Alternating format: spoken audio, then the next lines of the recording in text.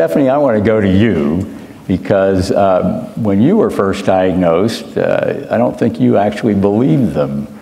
And so tell us a little bit about what you did when you heard that you might have glaucoma and how did you deal with not really liking that diagnosis? Sure. Well, first of all, I just want to say that um, I'm very grateful to be here today, um, and congratulations to the foundation for having such an amazing patient turnout. Um, I think I was one of those people that uh, a visit to the eye doctor had taken a back seat because, um, and ironically, I worked in healthcare for a very long time.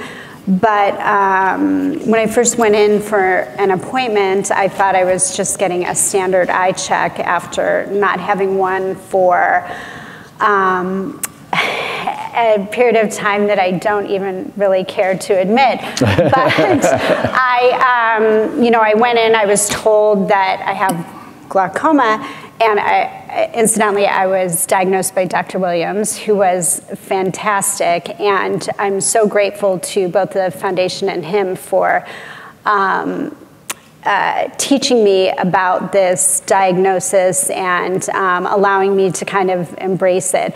I'd say that, um, you know, I definitely was shocked. Um, it, I think any of us could say that, especially if we're diagnosed later in life, that you think your vision's fine and then you go in and you learn that it's not. And my left eye was so severely damaged, the optic nerve, but I didn't know until um, my vision was affected. So, um, so fast forward to today, it's been eight years and I've been on four eye drops and um, the pressure is well controlled.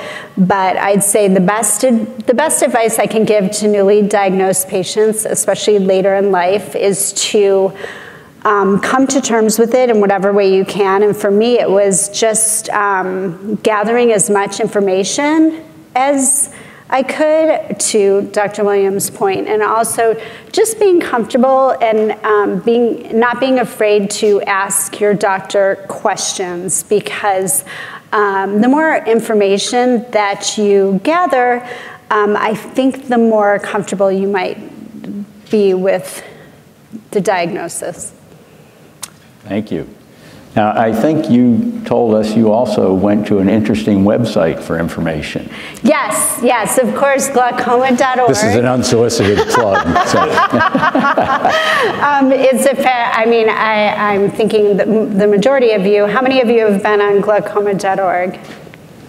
Okay, great. great. Um, yeah, you know, it's wonderful information. You sub can subscribe to the newsletter. It can be mailed to your home, or you can check out the newsletter online. And it's just invaluable information. And actually, um, day three of my diagnosis, I live here in the city, actually knocked on, I don't encourage this, but I knocked on the foundation's door because I really just needed information. And ever since, for the past eight years, I've been a very active volunteer, and I'm very grateful to the staff at Glaucoma Research Foundation.